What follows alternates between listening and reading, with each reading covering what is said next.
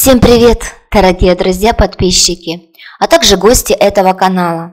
Представляем вашему вниманию Антона Хабарова, как звезда сериала «Казанова» увел невесту из-под венца. 21 год счастья с максимальной степенью свободы. Исполнитель главной роли в сериале «Казанова» кажется, вполне мог бы соответствовать своему экранному псевдониму. Антон Хабаров красив, обаятелен, импозантен и способен покорить сердце любой женщины. Поклонницы постоянно признаются ему в любви, пишут письма и даже приглашают к общению. При этом актер никогда не скрывал ни своего семейного положения, ни того, что его брак с супругой Еленой строится на максимальной степени свободы и любви. Жену, кстати, актер увел у соперника чуть ли не из-под венца.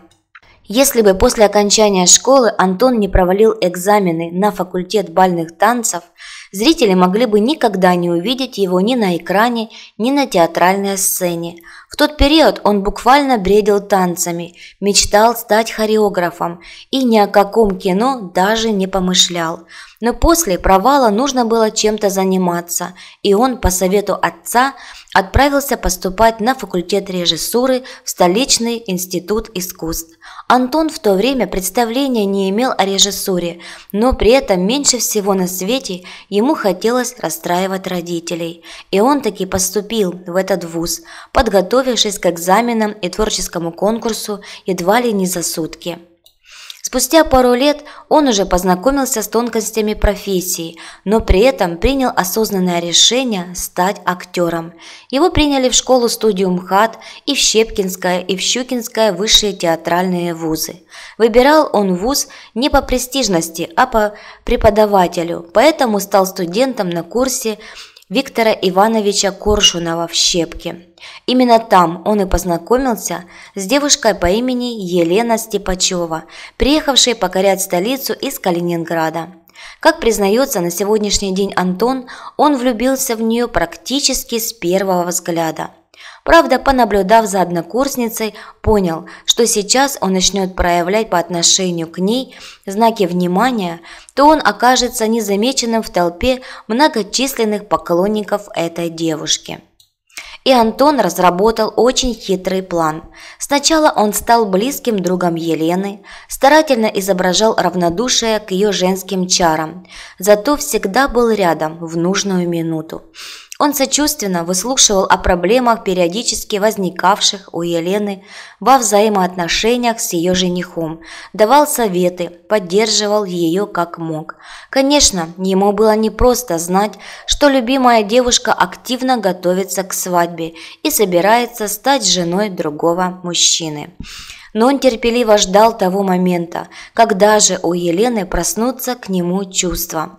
И дождался, уже на четвертом курсе, после чего с чистой совестью поставил девушке ультиматум «или я, или он». Было ли ему при этом страшно? Наверное. Было, ведь Елена могла выбрать и не его. Но в этом случае он бы просто опустил ее пожелав счастья, Елена все же выбрала в итоге Антона.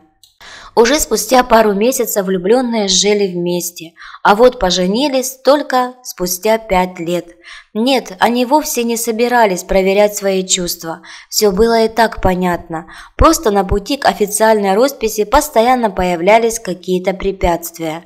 Антон никак не мог познакомиться с родителями Елены, так как молодые люди не совпадали в графиках, чтобы полететь вдвоем в Калининград. А потом всерьез и надолго заболела Елена. Из-за проблем с ногой она вообще не могла подняться с кровати и испытывала сильнейшие боли при малейшем движении. Антону было так жаль любимую девушку, что он решил порадовать ее каким-нибудь сюрпризом и сделал ей предложение. Свадьба Елены и Антона была не слишком шумной. На празднике в Балашихе присутствовали всего 30 человек, и все самые близкие. Антон в то время снимался в Таджикистане у Станислава Говорухина в фильме «Никто кроме нас». Поэтому все хлопоты по организации этого торжества легли на плечи Елены, да еще мамы ее будущего мужа. А сам жених едва успел на собственное бракосочетание. У него возникли проблемы на таможне, и он вполне мог застрять там надолго. К счастью, все обошлось. Елене после свадьбы пришлось отчасти пожертвовать собственной карьерой. На свет появился вначале сын Владислав, а спустя три года дочь Алина. И только когда дочери исполнилось три года, Елена наконец смогла выйти на работу. При этом в семье не было идеальных отношений, но каждый из супругов знал, они хотят прожить вместе всю свою жизнь. Конечно, как и у многих, у них случались ссоры. Иногда они находились в состоянии какой-то конфронтации. Но в те моменты, когда они оба уже переставали понимать, как вернуться к состоянию полного довольства жизнью, Антон и Елена отправлялись за помощью к психологам. Они не видят в этом ничего плохого, просто специалист по семейным отношениям показывает им путь решения возникшей проблемы. Они счастливы вместе уже более 20 лет, воспитывают двух замечательных детей и при этом признаются, что их семья строится на максимальной степени свободы. Они восхищаются достоинствами друг друга, но научились мириться с недостатками, которые теперь не раздражают, а просто принимаются во внимание. Антон и Елене вполне могут отправиться на отдых по одному и тот, кто остался с детьми, не будет постоянно названивать и требовать отчета о проведенном времени. При этом Антон уверяет, что их чувства ничуть не остыли с годами, Просто они привыкли полностью доверять друг другу, и легкий флирт на стороне никогда не расценивается как крамола. Супруги не могут сказать, будто совсем не ревнуют друг друга, просто научились не превращать это в большую проблему, способную отравить жизнь любимому человеку. Антон может обращать внимание на других женщин, Елена на мужчин, но ни у кого из них не закрадывается даже мысль об измене. Они слишком любят друг друга для того, чтобы искать отношения на стороне и обманывать тем самым любимого человека и доверие. Антон и Елена признаются, они по жизни на самом деле очень разные, смотрят разные фильмы, слушают разную музыку. Они считают, что общее хобби в семье иметь вовсе не обязательно. Главное – совпадение нравственных ориентиров, взглядов на жизнь и воспитание детей, а в этом плане в их семье царит полнейшая гармония. Когда на экраны вышел сериал «Казанова», где Антон Хабаров играет главную роль, многие коллеги актера были, мягко говоря, удивлены. Трудно было представить в этой роли человека, прямо противоположного герою по характеру и образу жизни. Кстати, согласился на съемки в Казанове он благодаря жене, которая не испытывала никакой ревности тем женщинам, которых ее супругу пришлось соблазнять по сюжету. Дорогие мои, пишите свое мнение в комментариях, нравится вам этот актер или нет, какие картины с его участием вы смотрели и вообще, как вы относитесь к этой прекрасной семейной паре.